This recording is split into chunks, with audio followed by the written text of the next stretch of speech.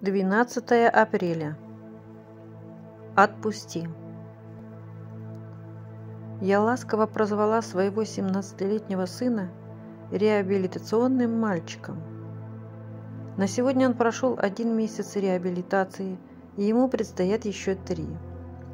Суд приговорил его к принудительному лечению за преступления, совершенные несовершеннолетним.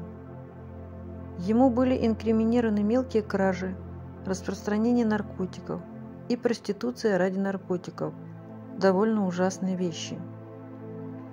До этого в течение почти двух лет я перепробовала все общепринятые меры, чтобы помочь своему ребенку.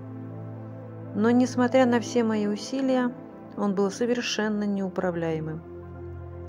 Ему абсолютно ничего не мешало употреблять и нести разрушение всюду, где он появлялся – я честно не знала, существует ли какой-либо другой способ помочь сыну, отличный от того, что я делала.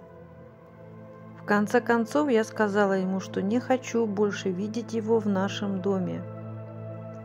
Это было тяжелое решение для матери – выгнать своего ребенка. Он жил на улице год, бездомный и бесконтрольный, под воздействием наркотиков – в течение всего этого времени я находила силы, поддержку и веру, которые мне были нужны в семейных группах Наранона.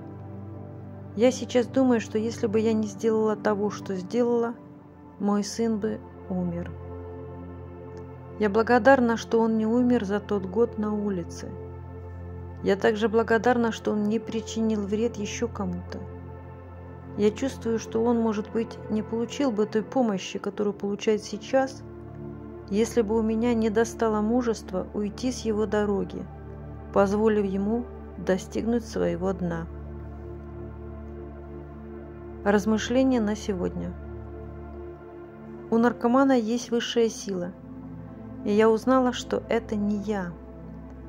Как бы ни было мне больно, я должна уйти с дороги и позволить наркоману пережить последствия его употребления. Цитата. «Ничто так не образовывает, как невзгоды». Бенджамин Дизраэли